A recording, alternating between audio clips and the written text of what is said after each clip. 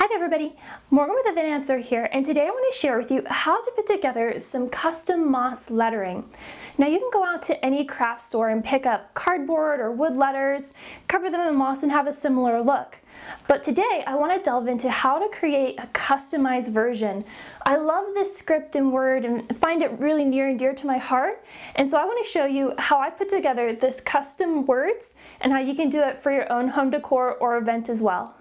The first thing I did was find a silhouette image that I wanted to create into my moss work of art.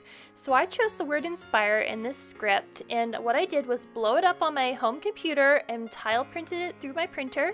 And then I'm just gonna cut this out and use this as a guide for cutting out my foam in a moment here. You could choose any kind of silhouetted image to turn into a piece of moss art. It could be a word, a phrase, or even an image of a dog or something that you really wanted. You just want to make sure that the lines are thick enough that they can support themselves when we cut that out of foam.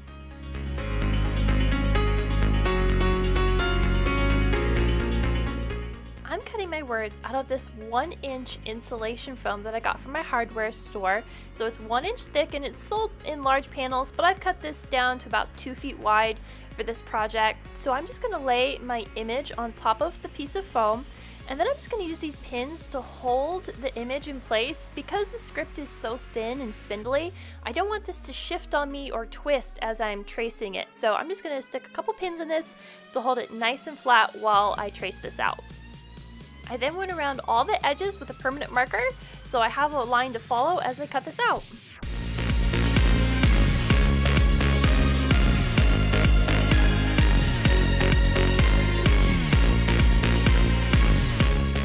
Next I pulled the foam panel off the edge of the table so I can cut out the image. Now I'm using this electric foam cutter or a hot knife, um, but you could absolutely use a really sharp knife to cut this out as well.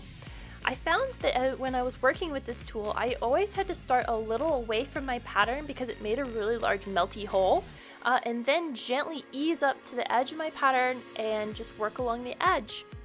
A few tips I learned while using this hot knife is it's really important to keep the tool vertical. It's easy to tilt it slightly, but then you end up with a tilted cut.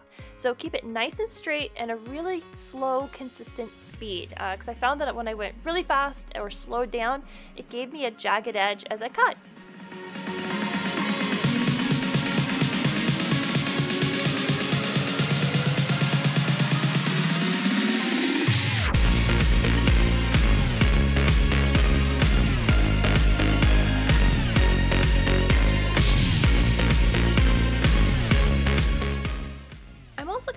Little bit of a bevel to the front side of my words. I think this is going to help the moss fold over it a lot easier and it'll cut down the height that I've got. So I'm just using a really sharp brand new X-Acto blade here uh, and just going along all the bevels at about a 45 degree. It doesn't have to be super perfect because we're going to paint and then cover this in moss. So if it's a little jagged, a little rough around the edges, don't worry.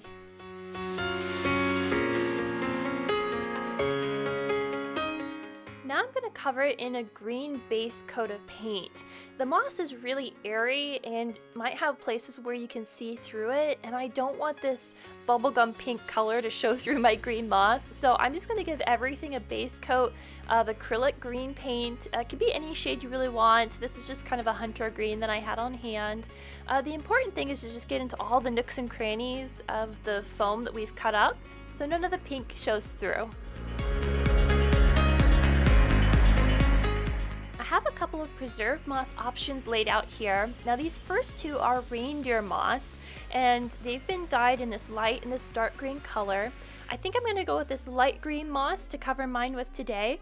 I also have this preserved forest moss. It's a little looser and chunkier in some places, so I don't think this is quite going to work for my project um, because it's inconsistent size.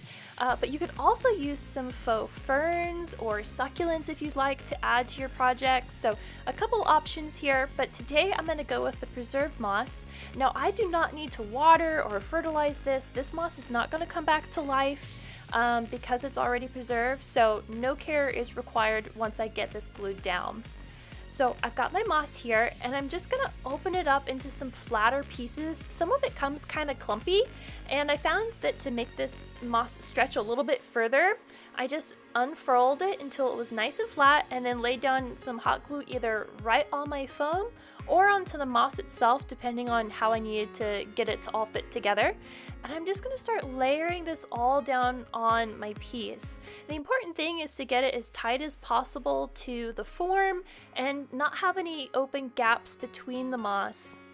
I ended up using about three bags of this moss, but really wish I had had a fourth because as I got to the end of this project, I was scraping the bottom of the barrel to make it stretch. So make sure you buy enough moss to cover this because it does take a decent amount to cover all this surface area, not just the tops, but the sides as well.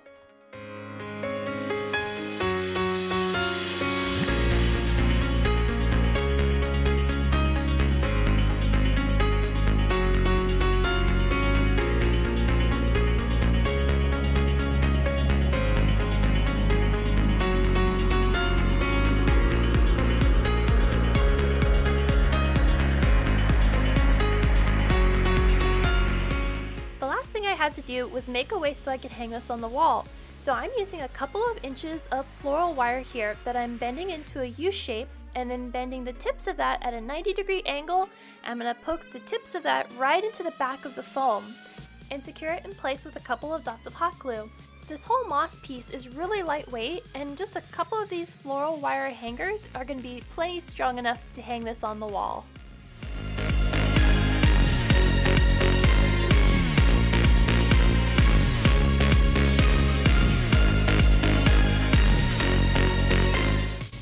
Today's project inspirational.